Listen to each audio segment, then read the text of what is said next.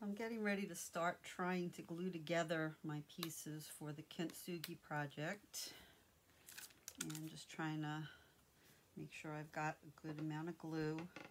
It's going to be, want to keep this nice and thick so that it's easy to apply.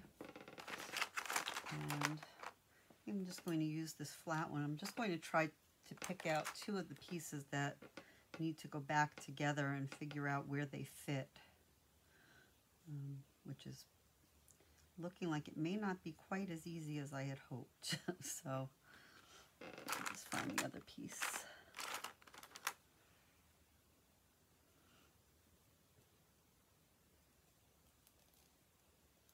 So I think if you remember when I cut these apart, they were not as dry as they needed to be, so they, they broke a little bit differently than I would have liked. It looks like these, these pieces may kind of go together here, so that's what I'm going to aim for. So again, want to have the kintsugi looking like the metallic glue, you know, the lacquer or enamel, I should say, mixed with the metal powder. So I'm just going to take some of my metallic paint and mix it with the glue.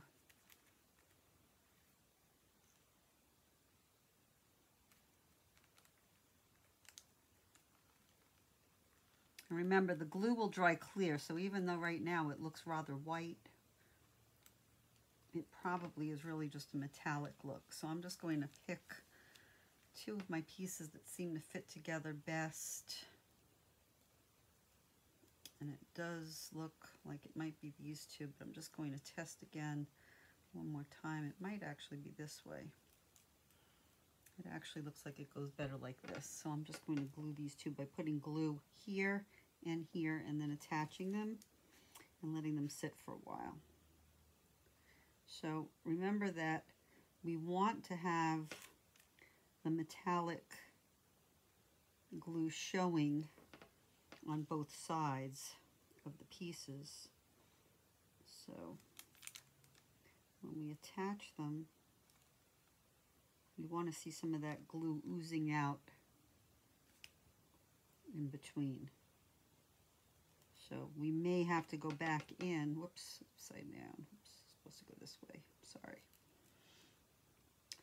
So that's the other thing. When you when you when you work on it, you want to really pay attention to where the pieces are and where they go, and make sure that you're just getting the glue where you want it.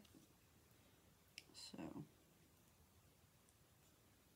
to attach these two pieces, or maybe it is this way. I guess it is like this.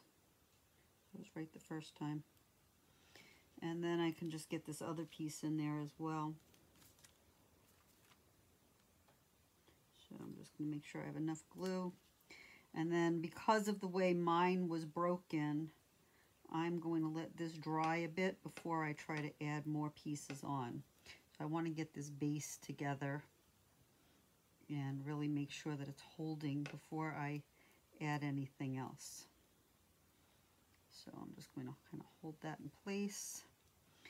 And while, while that's gluing, I may just go back in and just kind of drip some more glue in place to hold it.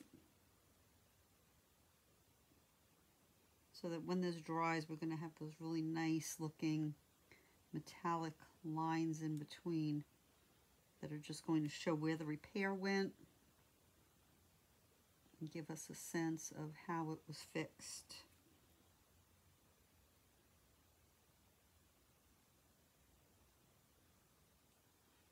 And so chances are you're going to have to go into this with two different size brushes. So the, the little brush will get into some of those smaller locations.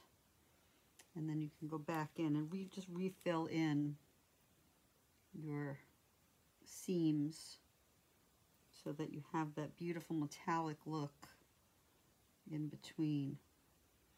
If you, if you have a toothpick at home also, that will work nicely to kind of guide the metallic glue and fill in the spaces. But you can see it, it's filling in somewhat nicely. and starting to stick together pretty quickly, much more quickly than I expected. But I'm going to let these pieces sit and dry before I try to attach any others. But this is really how you just want to get it started. You just want to start by grabbing your pieces and adding that glue wherever there's a little bit of a break. And you might have, like I, I'm pretty sure in here that the piece is going to be missing. I don't even know if it was a missing piece or if when I cut it, I changed the structure. So for right now, I'm just trying to fill in wherever there's a little bit of a gap with the metallic. And same thing here with this. So where, wherever there was a break, I want to fill it in with the metallic paint and glue mix. And just go very, very carefully. And then after you have that first repair part done, let it sit and dry and then go back and find your other pieces that go next. So this way it'll dry as neatly as possible and you'll know what happens next.